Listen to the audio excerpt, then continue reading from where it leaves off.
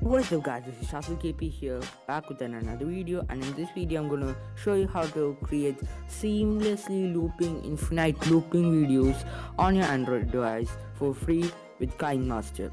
So without wasting any more time, let's get right into the video.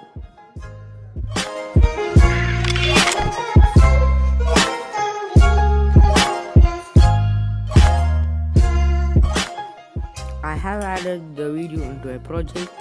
Let me just take it. It's 8 seconds long. Let me just slow down the video which increases the video's size and which therefore you could create a much longer fade effect. So I'm slowing it down up to 0.6 and going into a rough middle and you could easily cut it split that playhead and drag the second clip to the first part of the video which makes the first part of the video and the last part of the video correct. And apply the fade effects. You could do this on every video editing software. Most of them supports splitting and changing the place of clips as well as this fade effect you could do this on most of the video editing software. For proving that i done this using android. And this is a slow fold and this is also a free editing software.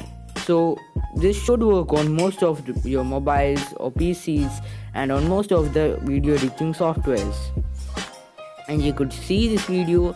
Let me just go and export this video always export the video at highest quality and bitrate possible. And I imported it to Google Photos. And let me just click on the three dots and you could click on loop video which loops the video. Let us just check out the how the video turned out.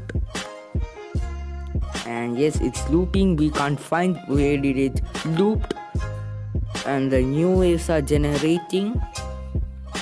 And that's it guys. So thank you guys for watching and see you guys in the next video